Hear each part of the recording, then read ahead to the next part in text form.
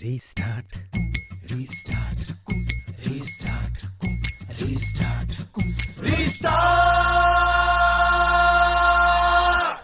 Zero से कर restart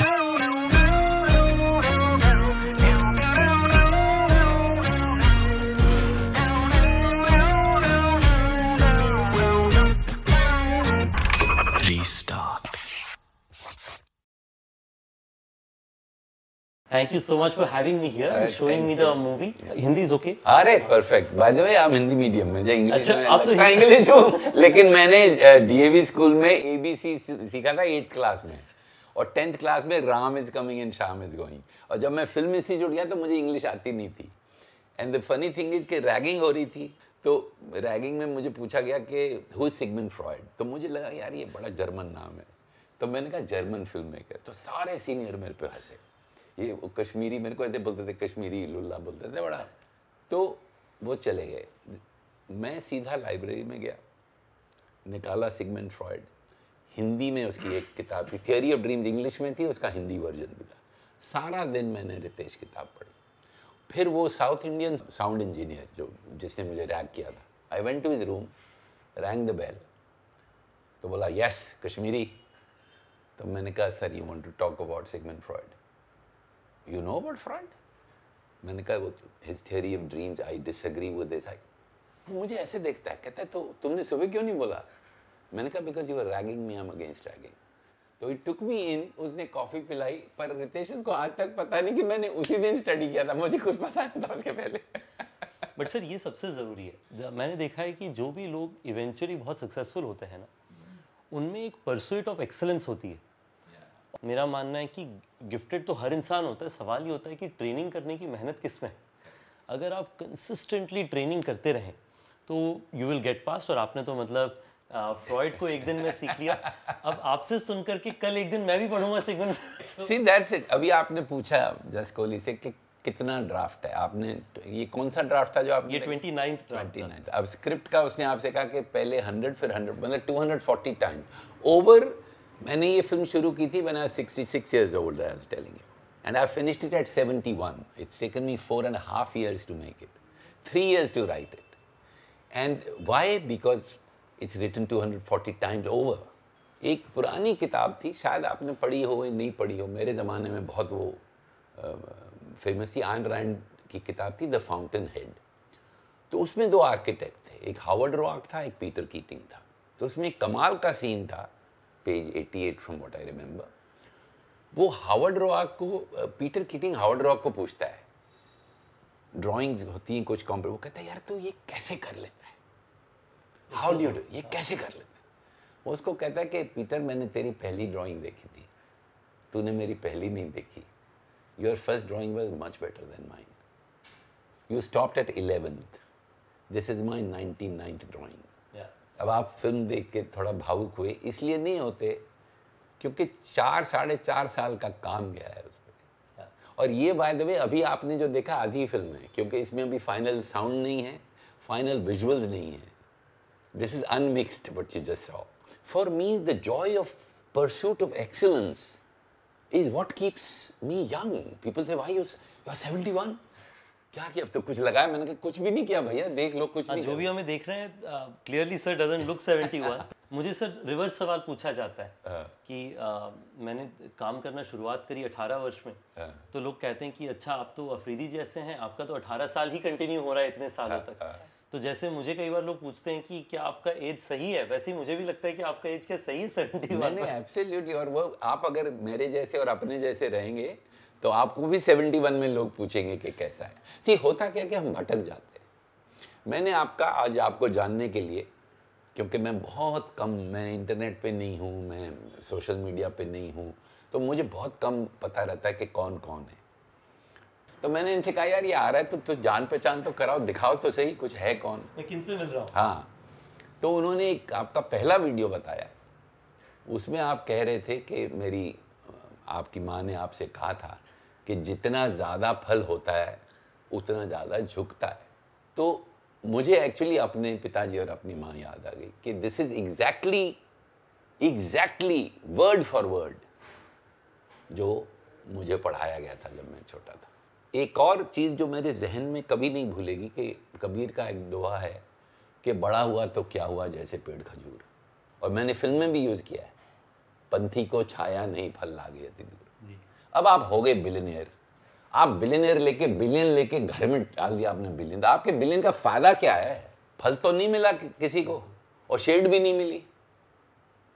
तो अगर चार साल मैं फ़िल्म बना रहा तो मुझे लगता है कि ये फ़िल्म देख के लोग कहीं ना कहीं उनकी ज़िंदगी आई फील करेक्ट बेटर होगी कुछ तो आपने मूवी की शुरुआत में ना जब आप ट्रेलर भी देखें तो उसमें एक आ, आ, आपके बड़ी आसान थी आपके लिए कहना कि from the story of X पर आपने एक अच्छी तरीके से आइडेंटिफाई किया है from a million true stories क्योंकि मैं आपको बताता हूँ कि हम लोग जब रायगढ़ से दिल्ली जाते थे तो आपको जो है तीन ट्रेन बदल के जाना पड़ता है ढाई दिन लगता है। पूरी ट्रेन में पूरी ट्रेन भरी रहती है। उस ट्रेन में सर मैं आपको बताता हूँ जितने 80 प्रतिशत लोग हैं ना सब किसी ना किसी सपने से जा रहे हैं। कोई जा रहा है कि उसे कोई इंजीनियरिंग की काउंसलिंग होनी है कि कोई जा रहा है कि नौकरी मिल जाए कोई जा रहा है कि शायद यूपीएससी की एग्जामिनेशन की तैयारी हो जाए कोई जा रहा है कि चार्टर्ड अकाउंटेंसी की तैयारी हो जाए हर इंसान सपने के साथ जा रहा है। और उसके साथ साथ आपने एक और वर्ड मैंने मूवी में सुना जो मेरे को बड़ा फैसिनेटिंग लगा। तीन चार बार कहा एक्चुअली गौरी भैया ने ये।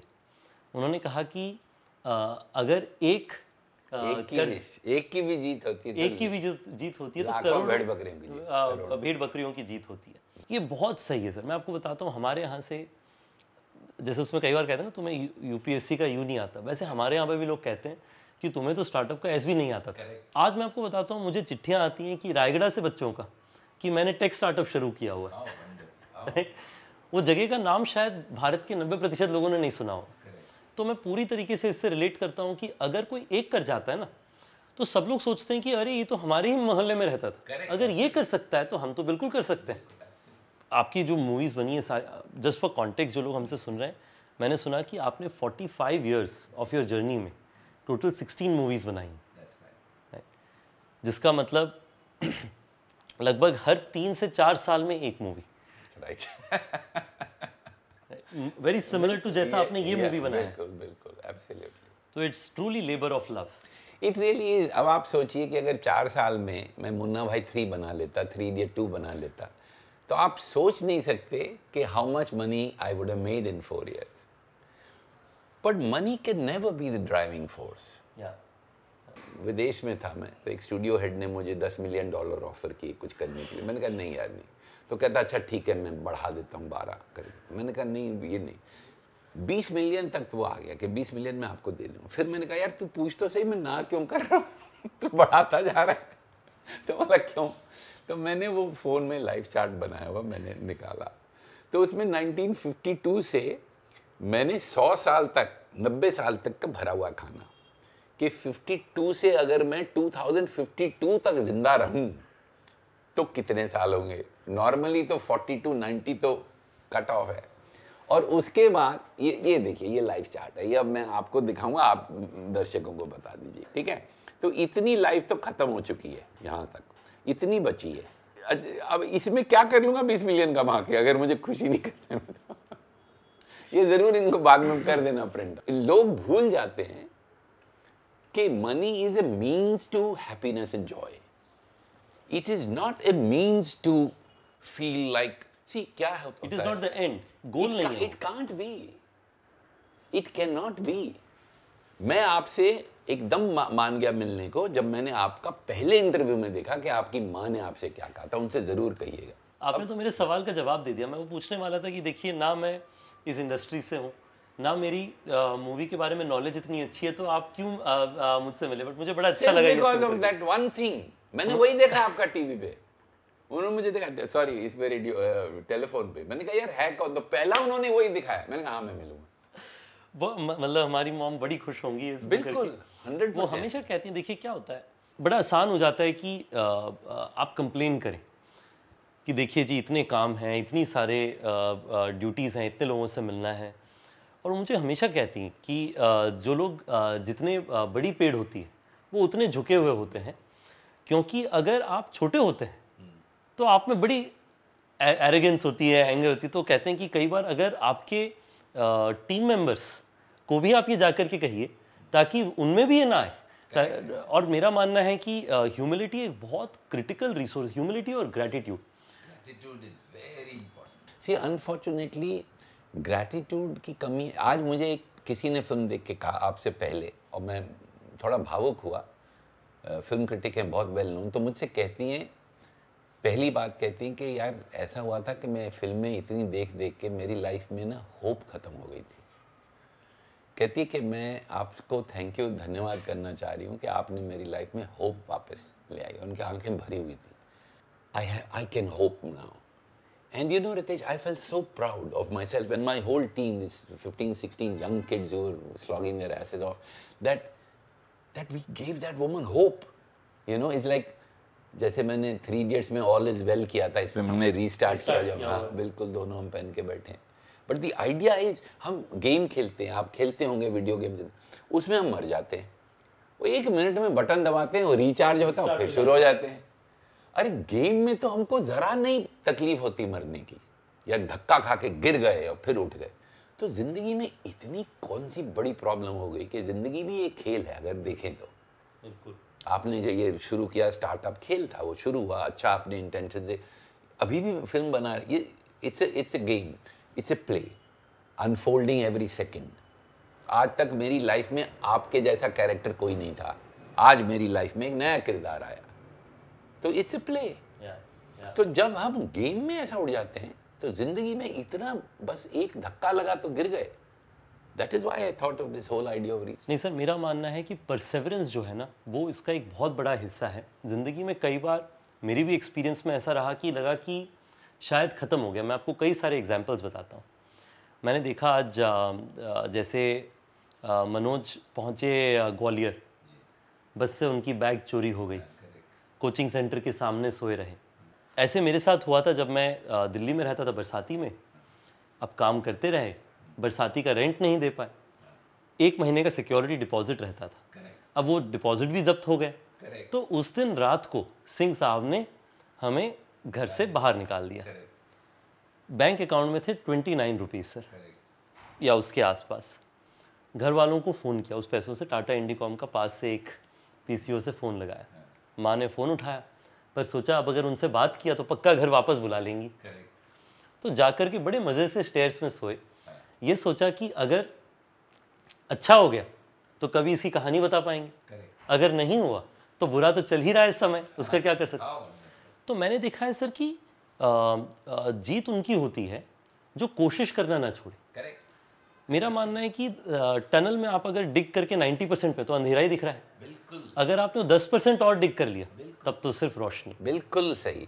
जैसा हमने कहा है फ़िल्म में हारा वही जो लड़ा नहीं बिल्कुल। ये मैंने देखा है कि दो तीन जगह लिखा भी हुआ था हाँ, हारा वही जो लड़ा नहीं। ये स्वामी विवेकानंद ने कहा है हारा अच्छा विवेकानंद जी की कहानी है। और उन्होंने मतलब of course Vivekananda ji is an inspiration for so many of us तो सर एक और चीज़ मेरे को बड़ा फैसिनेटिंग लगा। इन सारे ट्रायल्स ट्रिब्यूलेशंस के अंदर में ये भी आपने दिखाया है कि रोज़मर्रा की ज़िंदगी जो दो पैसे दिन में कमाने होते हैं उसके लिए भी काम करना उतना ही ज़रूरी है। जितना आपको प्रोफेशनल सक्सेस के लिए। ये कई बार जो लोग आ, उन चैलेंजेस से गुजरते नहीं हैं उनको लगता है कि शायद इसका उतना रेलेवेंस नहीं है। इसके बारे में सर कैसे आपको मतलब was it just from the book या फिर आपने अपने नहीं नहीं बुक नहीं जैसे आपने बम्बई हाँ, कहा पहली बार जब मैं बम्बई आया तो मेरा लगेज चोरी हो गया था बम्बई सेंट्रल में। अच्छा आपका लगे जेन्युइनली चोरी चोरी हुआ था वो तो मेरी लाइफ से। और जब मैंने बम्बई पहली बार देखा था गाड़ियाँ और ये सब वो जो दिल्ली में आता है जब वो पूरी सीक्वेंसेस आई रिमेम्बर्ड कि मैं जब बम्बई आया था। मुझे किसी ने कहा था कि पानी नहीं पीना सी का बहुत साल्टी होता है। तो मैंने कहा यार हम बहुत कश्मीर में बहुत शकंजी पीते थे। ऐसा मैंने भर के पानी पी लिया and I threw up so for me the city was oh my God then I saw poverty अब कश्मीर में माउंटेन्स हैं। गरीब थे हम लेकिन पहाड़ थे। लेक्स थी खूबसूरत मौसम थे। रन गजेल रन सारी जगह हाँ, खाली। वही तो सत्रह अठारह साल की उम्र में पहली बार यहाँ आया। तो जब मैं आया था फ़र्स्ट टाइम टीनेजर तो मुझे तो इतने लोग इतनी गुर्बत इतनी गाड़ी आई वॉज़ कम्प्लीटली ब्लोन और ये कहाँ से आया कि ये सारे एक्सपीरियंस आप आपने मैं आपसे कहता हूँ मुझे हो गया था जॉन्डिस अब पाँच रुपये का डॉक्टर था, डॉक्टर शेट्टी, हम रहते थे लिंकिंग रोड पे। अब वहाँ मैं पाँच रुपये बचा बचाने के लिए मैंने कहा, मैं घर जाऊँगा कश्मीर। मुझे पता था कि मैं बहुत बीमार हूँ। तो मैंने टिकट कराई, वो उन दिनों फ्रंटियर मेल चलती थी, यहाँ से पठानकोट पठानकोट से बस। तो I was married to Renu Saluja that time तो पैसे होते नहीं थे तो वो बॉम्बे सेंट्रल से ट्रेन पकड़नी होती थी। तो हम लोग रात को सामान लेके ग्रांट रोड चले जाते थे, उसके फादर के घर नेपियंसी रोड में, ताकि उनकी गाड़ी सुबह छोड़ दे, पैसे बच जाते। मैं उनके घर पहुँचा तो रेनू की माँ ने कहा, बीमार है तो डॉक्टर को क्यों नहीं दिखाया मैंने कहा, नहीं नहीं, मैं कश्मीर जा रहा हूँ। तो उनके वहाँ बिल्डिंग्स में एक सिस्टम होता है कि डॉक्टर फ्री होता है, उनको महीने का डॉक्टर कहते हमारा फ्री है, दिखा दे। तो मैं नीचे गया, रितेश। तो डॉक्टर ने मुझे देखा ही made me pee to check तो उसने उनसे कहा कि अगर ये ट्रेन पे चढ़ जाता तो ज़िंदा नहीं उतरता इतना ज़्यादा एडवांस था जॉन्डिस तो मैं फिर डेढ़ दो दो महीने तो मैंने इतनी गुर्बत अपने टाइम में देखी है। ये बड़ा इंपॉर्टेंट चीज़ है। आज हमने आपका लाइफ चार्ट आपने बनाया है सौ साल का। तो स्विचिंग गियर्स थोड़ा बहुत आपको किस चीज़ से सेटिस्फैक्शन मिलता है? व्हाट ड्राइव्स मैं आपसे कह रहा हूँ कि आज जब वो महिला ने क्रिटिक ने आके मुझसे कहा कि आपने मुझे होप दे दी। तो I I have just slept I take nap in the afternoon कोई प्रोड्यूसर हफ़्ता पहले शूटिंग रिलीज़ के पहले दोपहर को सोता नहीं खासकर अगर उसने डिजिटल ओटीटी नहीं बेचा हो तो। और सारे पैसे उसके लगे हों। मैं तो सो के उठा हूँ आपके लिए अभी। क्योंकि मुझे मुझे लगता है कि यार मैंने एक ज़िंदगी चेंज कर दी मैंने कुछ कर, तो this gives me a big high and perfection in my work आप ये फ़िल्म अभी क्या आपने देखा? चक्की का सीन है। वो लड़की बोलती है ये शोर बंद करोगे तो अभी आपने जो साउंड सुना है वो है छक छक छक छक छक छक 7.1 में जब आप ये फ़िल्म देखेंगे आई एम श्योर कि आप दोबारा देखेंगे थिएटर में। वो धक धक धक धक धक जब वो कहती है ना बंद करो तो धक धक धक धक साउंड बंद होती है अंधेरा एकदम चुप हो जाता है। वहाँ क्रिटिकल लाइन है। वो उससे कहती है ऐसे अंधेरे में पढ़ोगे कैसे? और वो कहता है कि बाहर के अंधेरे का डर नहीं। अंदर के अंधेरे का डर है। अगली लाइन क्रिटिकल है सुविधाओं के लालच में समझौतों का अंधेरा जो हम सब करते हैं। बिल्कुल बिल्कुल बिल्कुल। अब आज आप खुश हैं ऐसा चल रहा है कल को कंपनी आपकी ठीक नहीं चल रही तो आप सुविधाओं के लालच में समझौतों का अंधेरा करेंगे। तो उस अंधकार में आप जैसे आज बैठे हैं रीस्टार्ट टी शर्ट पहन के खुशी से नहीं बैठ पाएँगे। बिल्कुल नहीं सर मैं आपको बताता हूँ बड़ा इंटरेस्टिंग चीज़ है। मेरी इस साल शादी हुई। मैं गीत को पिछले बारह साल से जानता हूँ बारहवीं कक्षा से। मैं उनसे मिलने ना कई बार जो है कई बार क्या हमेशा से ही आनंद विहार आईएसबीटी दिल्ली का बस अड्डा है।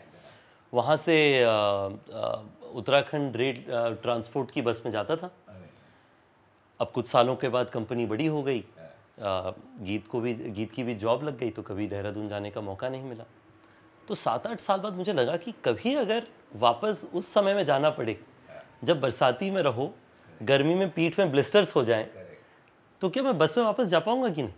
तो मैं कोशिश करता हूँ कि उस तरीके की एक्सपीरियंस अभी सहूँ ताकि कभी तकलीफ़ ना हो पर यूर राइट कि मतलब सुविधाओं की आदत तो पड़ जाती है और उसको कॉन्शियसली एफर्ट लेना चाहिए कि आप अपने आप को ज़मीन से जोड़े रखें। बहुत ज़रूरी है क्योंकि होता क्या है देखिए अमीरी और फकीरी में क्या फ़र्क है? अमीरी है कि आप अमीर बन आप हिंदुस्तान के सबसे अमीर इंसान बन जाए। ये अमीर ये फकीरी क्या है? कि आपके पास है दस रुपए लेकिन आपकी ज़रूरत दो रुपए की है। तो आप तो आठ रुपए के प्रॉफिट में हैं। करेक्ट आपका प्रॉफिट उस अमीर से ज़्यादा है क्योंकि उसके पास तो सत्तर परसेंट ही प्रॉफिट है। आपका तो एट्टी परसेंट प्रॉफिट हो गया भैया। नहीं सर देखिए क्योंकि हमारे परिवार में भी देखिए हमारा लाइफस्टाइल मोटा मोटा हमने कोशिश किया है कि लगभग वैसे ही रखें। डेफिनेटली थोड़ा बढ़ा है बट हमारी मॉम का हमारे तीन बड़े सिबलिंग्स हैं सर। तीनों बड़े जो हैं अच्छी अच्छी जॉब्स में हैं। हमारे पेरेंट्स का था कि अगर तुम्हारी इन्फोसिस में नौकरी लग जाए हाँ तो तो पूरे गाँव में लड्डू बांटेंगे। Correct correct. तो वहाँ पे चार पाँच लाख का तनख्वाह मिल जाता मिल है। जाता है अगर तो अगर उससे ज़्यादा जो भी मिला वो सब तो बोनस है। बिल्कुल अगर उसको लेकर के जैसा आपने बताया हम लोगों की जिंदगियों को पॉजिटिवली नहीं इम्पैक्ट कर पाए हाँ। देन मतलब what is the benefit biggest problem, I'll tell you, होता क्या मैं आपको बताता हूँ नितेश कि लोग जो है ना उनकी सेल्फ एस्टीम आती है उनके बैंक बैलेंस से। कि मेरे पास इतने पैसे, इसलिए मैं ऐसे खड़ा हो जाऊँगा। आज तो बिलियन डॉलर है मेरे पास। और जब नहीं है तो अच्छा कैसे हैं सर आप?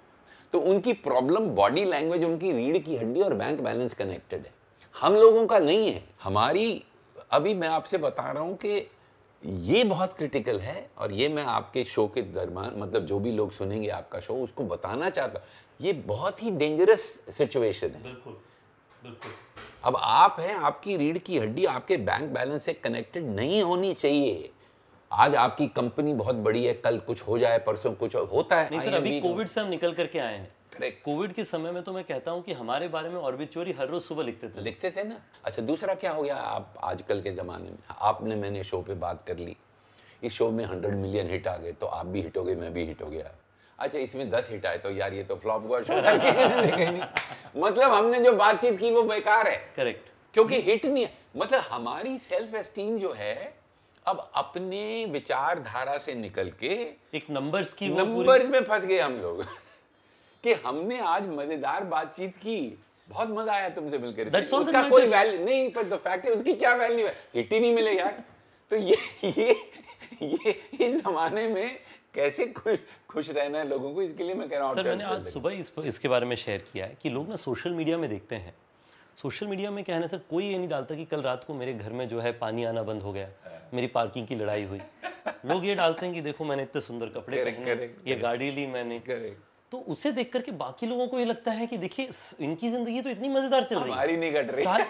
तकलीफ़ तो सबके घर में ही है सर। अभी वापस स्विचिंग गेयर सर छोटे शहरों की बात करते हैं, हमारे देश का आज भी बहुत बड़ा पॉपुलेशन जो है, छोटी जगहों में रहता है। आज हमने चंबल की बात करी, हाड़ोती रीजन है जो चंबल के साथ आगे बढ़ते हुए कोटा में आता है। पूरा हम जहाँ से आते हैं, हमें ना बीमारू डिस्ट्रिक्ट कहा जाता था सर, जहाँ से हम लोग हैं। तो जनरली वहाँ पे जो है बाय डिज़ाइन थोड़ा कॉन्फिडेंस की कमी रहती है। पर मैं जब देखा आज की इस मूवी में उसमें कई बार गौरी मुझे गौरी भैया का कैरेक्टर बहुत अच्छा लगा। तो वो कहते हैं कि ये खाली हाथ नहीं है। जवाब आपको देता हूँ कि मैं जब कहानी लिखता हूँ ना तो सारे कैरेक्टर्स मेरे स्टार्स हैं। हाँ सब मेरे लिए वो दादी भी जो बोलती है कि माँ माँ जो बोलती उसको झूठ बोल रही तेल लगा के। मेरी हाँ। माँ मुझे तेल लगाती थी ऐसे। आपकी ने भी लगाया मेरी भी लगाती हाँ, आज भी लगाती हैं। हाँ, आज भी हर रोज जब मिल जाए लगा देती हैं झूठ बोलती जा रही है और वो कहता कितना झूठ बोलेंगे? या फादर आके बोलते हैं कि नहीं हम नहीं जीत सकते। तो ये ये अटल बिहारी वाजपेयी की पोइम है जो मैंने यूज़ की है। और ये वाजपेयी ने तब कहा था कि हार नहीं मानूँगा हार नहीं ठानूँगा। काल के कपाल पर लिखता मिटाता हूँ गीत नया गाता हूँ। तो ये जो नया गीत गाना है ना ये बात मैं चाहता हूँ कि इस फ़िल्म के थ्रू इस माध्यम के थ्रू उन सब बच्चों तक पहुँचे जिनकी आप बात कर रहे हैं। क्योंकि हम वहीं से आए हैं ना भाई। और आई थिंक ये जो भूख है मुझे लगता है कि वो वीकनेस नहीं सबसे बड़ी स्ट्रेंथ हमारी वो है। Absolutely. उसकी इनक्रेडिबल अमाउंट ऑफ़ पावर है। मुझे लगता है कि आप अगर छोटे शहर से हैं तो uh, अभी रिसेंटली uh, एक शो में मैंने कहा कि आज आप इतने बड़े मूवी मेकर के साथ हूँ तो मैं इसलिए कह रहा हूँ कि एक वो बॉलीवुड की लाइन है कि बड़ी बड़ी शहरों में ऐसी छोटी छोटी चीज़ें होती रहती हैं। उसका रिवर्स है सर ये कि आजकल छोटी छोटी शहरों से बड़ी बड़ी बड़ी बड़ी चीज़ें की जा रही हैं। तो मेरा मानना है कि ये बहुत बड़ा अ, ये बदलाव होने वाला है क्योंकि आज के दिन में सर मैं जब रायगढ़ जाता हूँ जो भी छोटे शहरों में जाता हूँ वहाँ पे मेरे को बच्चे मिलते हैं ना सर एक लड़का मैं बताता हूँ ओयो में काम करता है कॉल सेंटर में। तो दिवाली के दिन मैं हमारे लोगों से जाके मिलता हूँ। तो मैं उससे जाकर के पूछा मैंने कि तुम्हारा क्या एम्बिशन है? तो उसने मेरी तरफ़ देखा और कहा रितेश भाई आपसे पहली बार मिल रहा हूँ मैं। बड़ा अच्छा लगा खुशी हुई। एक फ़ोटो ले लेते हैं पहले। तो उसने फ़ोटो ले लिया फ़ोटो लिया हमने। फिर उसने एक बड़ी अच्छी बात कही। उसने कहा कि आपने जो कंपनी बनाई है ना उससे थोड़ी बड़ी कंपनी मुझे बनानी वो कॉल सेंटर में काम करता है उसकी तनख्वाह शायद महीने की पैंतीस चालीस हज़ार रुपये है। पर उसमें सपना जो है ना क्योंकि मानना ही है कि सपने का तो खर्चा लगता नहीं है। अभी जैसे कि शर्मा जी बैठे हुए थे ग्वालियर स्टेशन में तो उन्हें यूपीएससी और आईपीएस का मतलब ही नहीं पता। पता नहीं था वो उसको पूछता कि IPS वो क्या होता है कहता है उससे भी उससे बड़ा फिर बड़े प्यार से बोला मैं भी बनूँगा। मतलब यार कुछ कहाँ बनेगा मतलब यार? इस पे ये बड़ी आपने अच्छी बात कही। मैं ये भी रिसेंटली मेरी एक बात हुई सर मुझे मेरी इनफैक्ट मज़ाक भी उड़ी इस पे। तो बिज़नेस में सर एक लाइन होता है EBITDA earnings before interest tax depreciation तो मैं इन्वेस्टर से एक बार मिलने गया। तो इन्वेस्टर ने पूछा कि अ, अ, और वो जो इन्वेस्टर है वो हमारे गौरी भी हैं। उन्होंने वो हमारे सबसे पहले इन्वेस्टर उन्होंने हमारे कंपनी में इन्वेस्ट किया चार करोड़ रुपए नौ करोड़ की वैल्यूएशन में। सर मैंने उनसे कई बार पूछा कि चार करोड़ रुपए आप पक्का हमें देंगे? उन्होंने कहा हम देंगे। मैंने कहा अगर मैं अगर कोई आप किसी और में निवेश करें और वो लेके चले जाए तो? तो उन्होंने कहा ये तो हमारी किस्मत है हमारी तो कोशिश रहेगी कि ऐसा आप ना करें। तो मैं तो नहीं करूँगा पर मैं ऐसे सरप्राइज़ हूँ कोई ऐसे चार करोड़ रुपए क्योंकि हमने सर कभी करोड़ रुपया एक साथ देखा नहीं। तो उन्होंने मुझसे पूछा कि so what will your EBITDA be in five years अभी हमें सर इबिडा का मतलब ही नहीं मालूम। करेक्ट मुझे भी नहीं मालूम अभी तुम बता रहे हो तो। हमें तो नफा नुकसान समझ में आता है। तो मैंने कहा it will be very good but it will take few days I will figure out and come back अब उन्हें बता भी नहीं सकते कि कहीं वो मतलब तो उनका नाम है बेजुल हमारे सबसे पहले इन्वेस्टर थे। उनके बगल वाले रूम में जो है उनकी टीम के एक जने थे जिनसे मेरा थोड़ा कंफर्ट था। तो मैंने जाके पूछा कि पूछ रहे हैं बिड्डा कितना ये होता क्या चीज़ है? तो उन्होंने बताया। मैंने सर फिर जैसे आपने फ्लॉइड के बारे में पढ़ा फ्लॉइड के बारे में मैंने वैसे दो दिन सारी पूरी फाइनेंशियल नहीं सर इबिडा नहीं पूरा बैलेंस शीट पीएनएल लाइन हर चीज़ पढ़ लिया। तो कई तो उस पर क्या कुछ लोगों को जिन्होंने वो छोटा हिस्सा वो वीडियो देखा उन्होंने कहा कि देखो इनको तो इन्वेस्टर मीटिंग मिल जाते हैं बिना इबिडा के हमने तो पूरी एमबीए कर रखी हमें मीटिंग नहीं मिली। तो ये मूवी से उस पर बड़ी सीख है कि अगर आप में जज्बा है सीखने का जो आखिरी में सवाल होता है ना कि do you think a twelfth fail is more capable than the toppers और वो कहता है ये तो नहीं कह सकते कि केपेबल या नहीं पर ये ज़रूर कह सकते हैं मोर डिजर्विंग मेरे हिसाब से डिजर्विंग नहीं मैं बहुत इस पर स्ट्रांगली बिलीव करता हूँ। देखिए जिन लोगों के पास जिनके माँ बाप बाप ने पर्टिकुलरली फ़िल्में बना दी स्टूडियोज़ बना दिए आज वो घूमे तो ठीक है यार तुम ठीक हो। लेकिन हम कश्मीर से फ्रंटियर मेल में आए थे पहला नारियल पेड़ देख के ऐसे देख रहे कि ये बम्बई आ जाएगा। नारियल पेड़ ही मेरा ड्रीम था।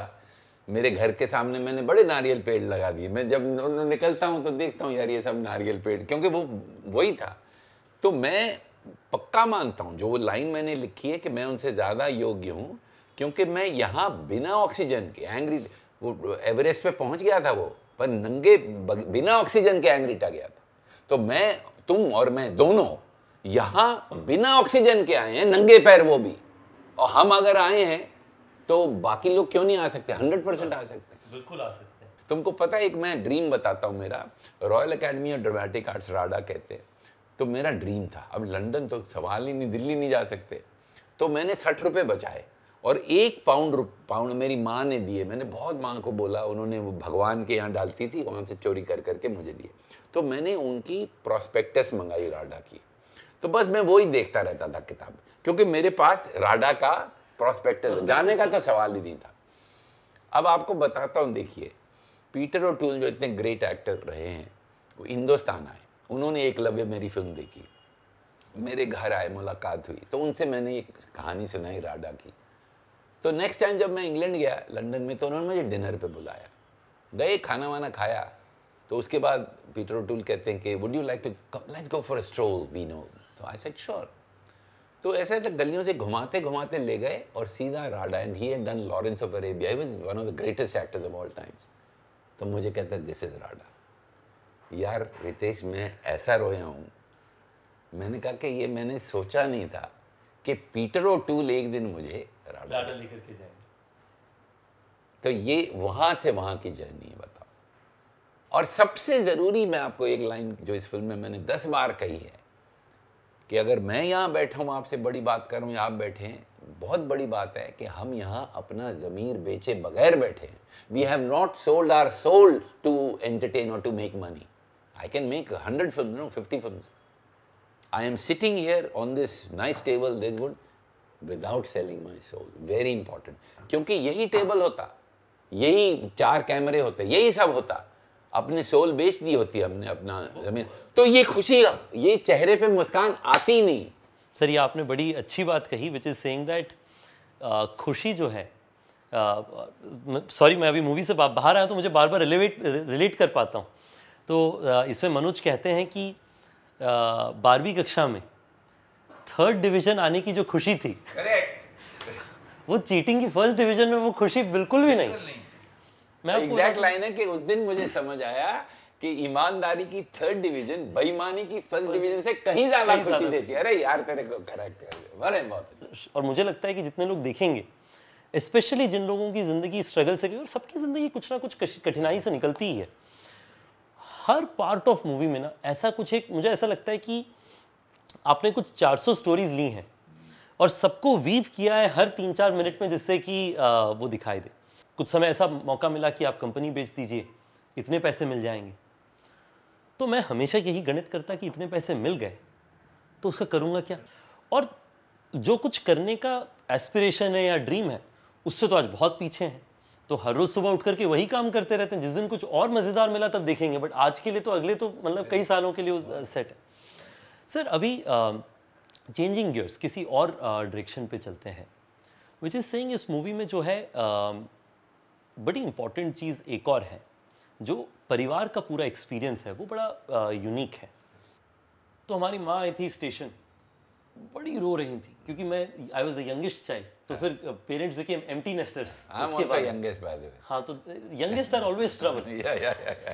because they can they get all the love from the parents Yeah. and they can do all kinds of Correct.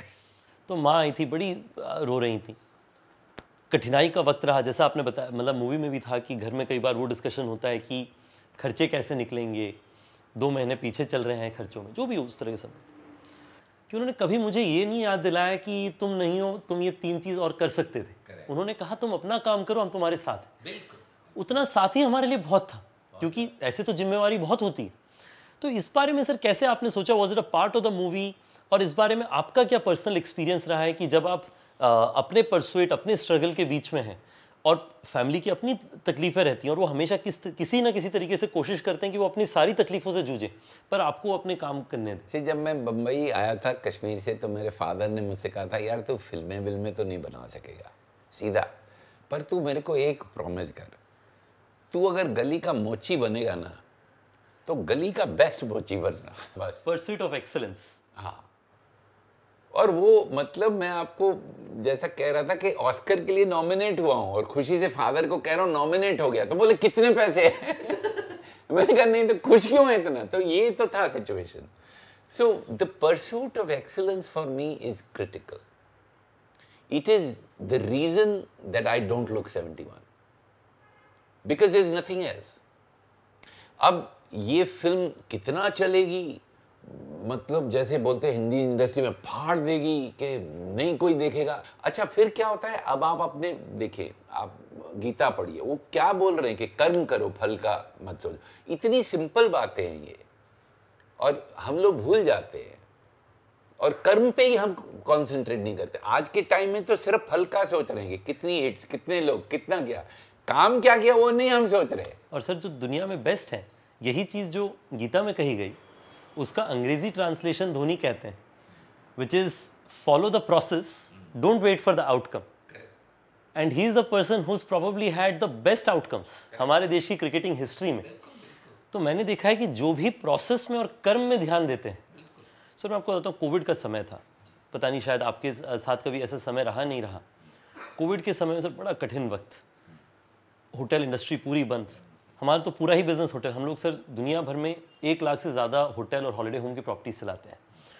तो सडनली बिज़नेस खत्म हो जाए और फिक्स्ड कॉस्ट मेंटेन रहे तो it's not a very good experience और तब sir हर महीना कुछ ना कुछ बुरा हो। तो कई बार सोचता था कि भगवान जी, आपने मेरे ऊपर ही सारी मेरी, सारी परीक्षा क्यों ले रहे फिर मेरे को हमेशा एक बात याद रहता था सर, और मुझे लगता है कि इस मूवी से भी मेरे को वही सीख मिली। Look up for inspiration and look down for satisfaction तो जो आपने ये बड़ी इंपॉर्टेंट चीज़ बताई कि कर्म करते जाओ और फल की चिंता ना करो बहुत ज़रूरी है। और मेरा मानना है सर सर हम लोग ना इंजीनियर्स के साथ काफ़ी रहते हैं। हम लोग टेक काफ़ी अप्लाई करते हैं तो हमारे यहाँ पे सर इंजीनियर्स कहते हैं ये तो फोड़ देगा। तो मुझे लगता है आपकी मूवी फोड़ देगी सर। बहुत अच्छा इट्स एन बहुत दिल को छूने वाली मूवी और मेरा मानना है कि जो भारत का कॉमन मैन है वो भी रिलेट कर सकता है। जो नैरेटर हैं स्टोरी के वो थोड़े वेल्दी फैमिली से आते हैं। पर उनकी इनके साथ जो रिलेशनशिप और एक्सपीरियंस रही वो इतनी यूनिक रही कि मेरा मानना है कि अगर कोई वेल्दी फैमिली से आते हैं तो उनका भी कोई ना कोई मनोज शर्मा जैसा दोस्त होगा। करेक्ट जिसको वो याद करेंगे जब ये स्टोरी देखेंगे। सी मेरे यहाँ कुछ बहुत वेल्दी लोग आए देखने के लिए और आपके में आपके मेरी तरह के वेल्दी नहीं कि हम ज़मीन से हैं वो वेल्दी हैं। तो आई वॉज़ वेरी स्केप्टिकल तो उन्होंने मुझसे एक बात कही फ़िल्म देख के रोए। और मेरे कमरे में आके मुझसे कहा कि यार ऐसा दिल करता है बाहर जाके कि मैं सबके साथ कुछ अच्छा ही करूँ। So he was touch like that So that was such a nice feeling Okay, this extremely man felt ke I should be nice. Because Gauri Nand, because see because Pandey was nice to him. Correct correct sir मैं पहली बार बम्बई आया था। लोगों ने कहा कि देखिए आप तो बारहवीं से निकल के आए हुए हैं। तो हमें नहीं लगता कि आपका बिज़नेस चलेगा और दूसरा आपके लिए एक फ्रेंडली सुझाव है कि आप काम पे लग जाइए कुछ मतलब कर लीजिए या फिर पढ़ाई पे करिए मतलब ये आपका बात ठीक नहीं है। तो एक दिन हमें फ़ोन आया यहीं पे बॉम्बे के हैं अपूर शर्मा जी उनका फ़ोन आया। उन्होंने कहा कि बड़ी उन कह रहे हैं कि आपका इतना करोड़ों का बिज़नेस होगा ये होगा वो होगा। हमें तो सर ये सारे नंबर सुन करके ऐसा लगता है कि देखिए ये तो मतलब बिल्कुल इरेलीवेंट बात है। और हम मतलब अपना हर रोज़ का मतलब वो बरसाती में जीवन बसर कैसे करें उस पर ध्यान दिए। तो मैंने उनकी पूरी बात सुनी। मैंने कहा कि सर ये सब बड़ा अच्छा लगा। तो उन्होंने कहा कि आप बम्बई आ जाइए पिच करने के लिए। मैंने कहा सर बड़ा सटीक आपने बात कहा पर मेरे पास ना बम्बई आने के पैसे नहीं हैं।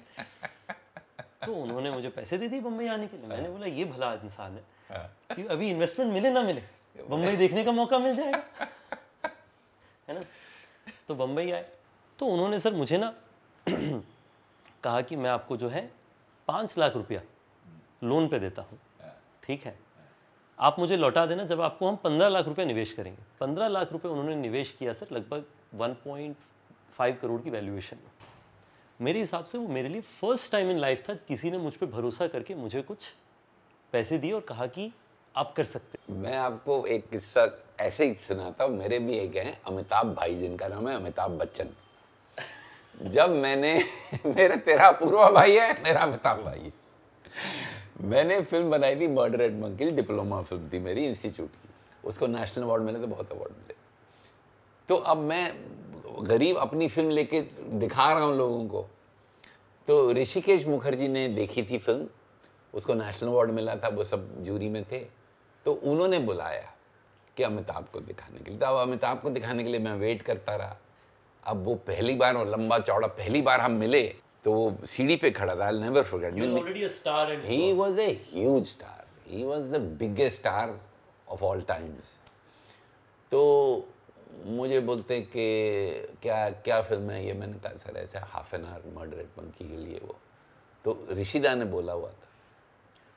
तो खैर वो फ़िल्म देखने आए नटराज स्टूडियो में ऋषिदा ने अरेंज किया था।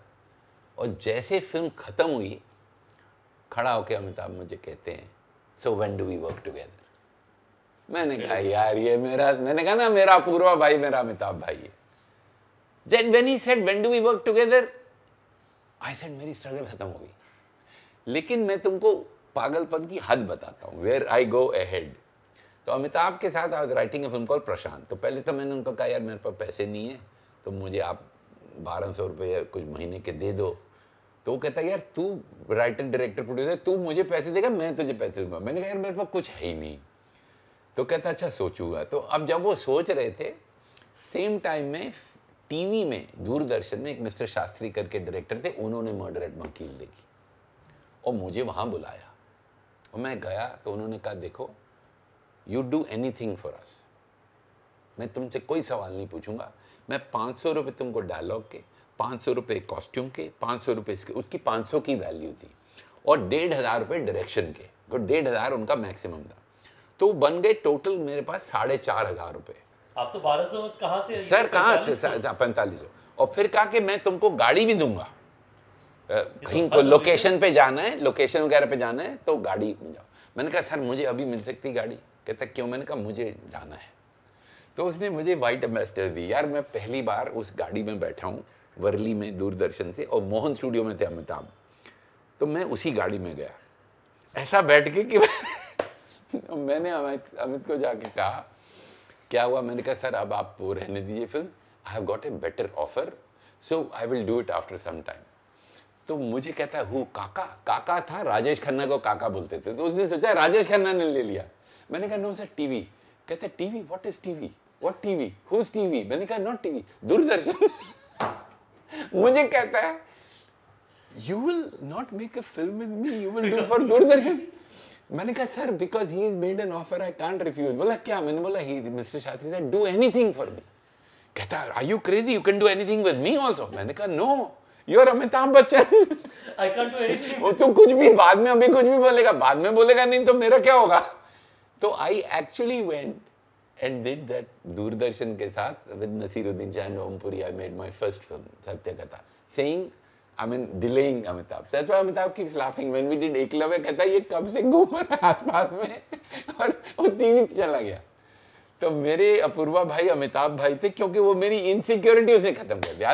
Always be grateful to for that one line क्योंकि सर, देखिए, वो ना, वो बदलाव बहुत ज़रूरी है। क्योंकि आपके अंदर एक वो इम्पोस्टर सिंड्रोम रहता है, जहाँ पे आपको लगता है कि इतने केपेबल लोग हैं इनके बीच में मैं कैसे? जब आप पहली बार ऐसा कुछ सुन लेते हैं ना कोई आपको थोड़ा सा भी वो एक रे ऑफ़ होप दिखा दे फिर तो कॉन्फिडेंस जो नहीं होनी चाहिए वो भी आ जाती है कि अब तो कुछ नहीं कर सकते। और आपको तो अमिताभ बच्चन अमिताभ बच्चन फ़ेमस था उसके पास गाड़ी थी उन दिनों जिसके अंदर बाथरूम था। हमने पढ़ा हुआ था कि वो चलता है उसमें तो मैं कभी नहीं भूलूँगा। मेरे बात करता था मेरे को कोई बाथरूम जाना भी नहीं था। तो मैंने उसको कहा मैंने कहा Amit can I use bathroom तो पहली बार मैं उसकी वो जो वैनिटी वैन का बाथरूम मैंने अमिताभ बच्चन का यूज़ किया। और मैं ज़िंदगी में नहीं भूलूँगा वो बात। ये सडनली यार चलते हुए टायर के वो गाड़ी के अंदर बाथरूम तो सर एक बड़ी इंटरेस्टिंग चीज़ जो मुझे लगती है कि लोग कई बार कहते हैं जैसे आज भी आप देखिए ना कई बार आप छोटे शहरों में जाएँ तो आपको जैसे कोटा में मैं रहता था कुछ समय हाड़ोती मैंने आपको बताया तो वहाँ पे ना बड़े बड़े इश्तेहार लगे रहते थे। English speaking better English speaking क्योंकि लोगों का मानना था कि आपकी करियर का दिशा आपका भाषा तय करता है। मेरा मानना है कि आज के दिन में भाषा से ज़्यादा काबिलियत आपकी आगे की ज़िंदगी तय करता है। आज मूवी में हमने देखा कि कई बार अ, हिंदी मीडियम करके पछाड़ा गया मनोज को and of course he eventually became successful तो इसके बारे में आपका क्या मानना है सर कि लैंग्वेज का कितना रिलेवेंस होता है किसी की सक्सेस में? देखिए एक बहुत इंपॉर्टेंट लाइन है फ़िल्म में।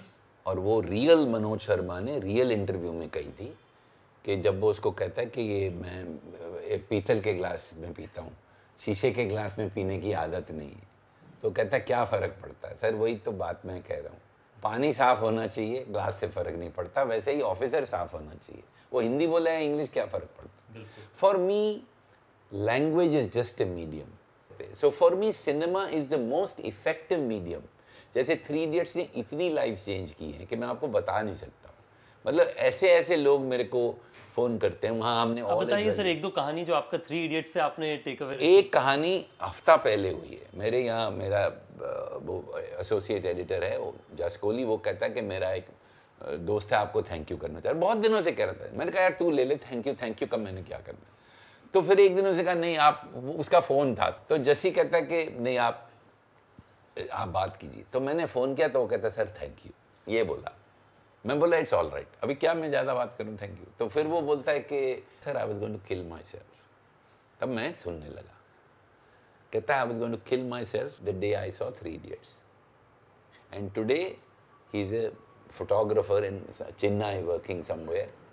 And he said sir you I have to thank you for saving my life. अब बता। आई हैव गूज़बम्प्स ये लिसनिंग अभी पिछले हफ़्ते जसी का दोस्त है। और मैं आपको कहता हूँ कि जो ऑल इज़ वेल ने किया है, मैं समझता हूँ कि उससे ज़्यादा रीस्टार्ट करेगा। ऐसा मेरा पूरा मतलब पूरा मुझे विश्वास है। मैं एक टीवी शो पे गया, मैं जाता नहीं हूँ कभी। पहली बार गया ट्वेल्थ फेल के लिए। दो दिन पहले वहाँ उन बच्चों ने एक प्रोग्राम किया, जिसमें जाने नहीं देंगे तुझे किया थ्री इडियट्स का, और वो छलांग मारता है एक लड़का, और वो ऐसा।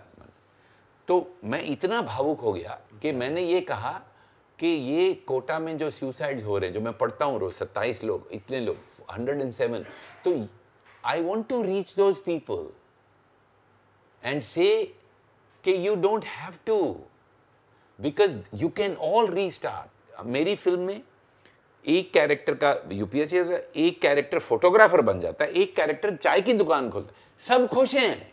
Correct So th- for me, the point is that for I am I'm will do what all is well did.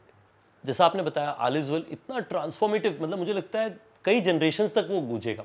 अभी I am going to be a dad in a few months तो हम uh, कई बार जो है गीत को बेली पे कहते हैं ऑल इज़ वेल क्योंकि मूवी में देखा था। It's become second nature right तो मेरा मानना है कि restart can be an even bigger phenomenon कि मतलब जब कठिनाई आए जब अपॉर्चुनिटियाँ लोग कहें restart lot of times I have gone through this in my own life जहाँ पे सब ज़ीरो हो जाता है। और हर रास्ता ये कहता है कि give up and take a different path but you wake up again you're laughing you're crying you're like anything you show up next morning and say कि मैं वापस कोशिश करूँगा। ये आपने कैसे रीस्टार्ट के बारे में सोचा? रीस्टार्ट जो है वो एक्चुअली कोविड के टाइम में मैंने ये कहानी लिखी। और मेरा एक बड़ा पर्सनल एक्सपीरियंस रहा जो मेरा भाई जो मेरे से चार साल बड़ा था, बहुत ही was closest to me Veer.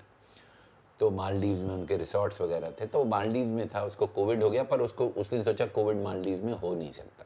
Anyway the sad thing was that by the time he told me it was already five days तो I sent a plane from Doha I got him to Bombay but his lungs were damage and he couldn't survive and it was such a difficult time for me I cannot tell you Ritesh I have never talked about it but it is very difficult Around that time, the concept of restart started coming to my head because I was writing the film.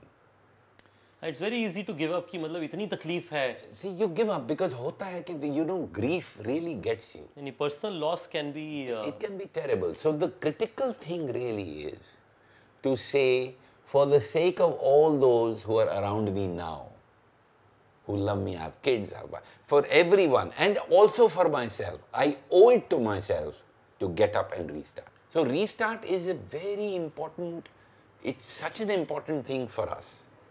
In everyday life, you restart b- work, relationships, life, everything. You cannot give up. हार नहीं मानो जैसे वो अटल बिहारी वाजपेयी की पे- मैंने आपको point बताई बट आई एम फैसिनेटेड कि आपका इतना ब्रेथ ऑफ़ इंफॉर्मेशन है। आप अटल बिहारी जी की पोएम से लेकर मूवी बुक्स से लेकर के कमर्शियल ये आपका सोर्स ऑफ़ नॉलेज कहाँ से आता है? क्योंकि आप इतनी ब्रेथ ऑफ़ मूवीज़ बनाते हैं। ब्रेथ ऑफ़ इंस्पिरेशन लेकर के मूवी बनाते हैं। तो what is the source of that knowledge कैसे आप night. Uh, even now, I read every night for an half, half an hour, one hour, and I read random books. It's like uh, yesterday I was reading about, uh, um, you know, uh, Pablo Neruda, and I was reading Pablo Neruda with Shakespeare because it, m- m- matlab, it's like I do crazy, and, and I was reading Ghalib. And then I read Iqbal. Iqbal has said wonderful thing yesterday. ये अमीरी फकीरी मैंने कल ही इकबाल में पढ़ा. And I spent a lot of time with myself thinking. So a lot of my own thoughts, uh, I, I, I gather them. I have enough time to uh, gather my thoughts. Sir, on that note, I hope that Uh, you know everybody who's listening in gets inspired by listening to you and uh, doing and pursuing whatever brings happiness to them in their life. और जो आपने एक बात बताई uh, आखिरी में उसका एक बड़ा इंपॉर्टेंट परस्पेक्टिव है। एक्सपीरियंसेस जो हैं लोग कहते हैं बहुत वैल्यूबल है। मेरा मानना है कि एक्सपीरियंसेस उतनी वैल्यूबल नहीं जितनी reflection of the same experience exactly I absolutely agree with लोग कई बार क्या है ज़िंदगी में रोज़मर्रा की ज़िंदगी में चलते रहते हैं चलते रहते हैं। पर मेरा मानना है कि और ये सॉरी मैं कई बार मूवी का एग्ज़ाम्पल यूज़ कर रहा नहीं हूँ। प्लीज़ करिए। तो मनोज जी ने उस पर एक बड़ी इंटरेस्टिंग चीज़ कही मूवी में कि thank you for being rude to me जब uh, अब उसका रीज़न क्या है आप लोग मूवी देखेंगे तो you will find out more but sir thank you so much in partnership with OYO and Zee for thanking for joining us me give आपकी मूवी और अच्छी करे। Thank you thank you thank you so much Restart.